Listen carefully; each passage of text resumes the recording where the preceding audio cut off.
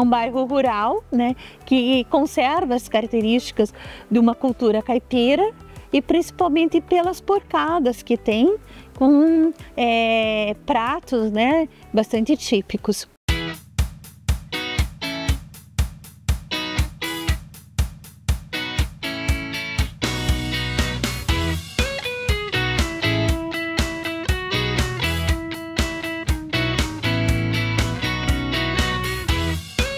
O Ramon tem 50 gramas, ele tem 118 calorias, então ele é um produto com baixíssima caloria, alto teor de proteína, é um critério já desde a raça do porco, da alimentação do porco, o abate, e fica pronto de 12 a 18 meses.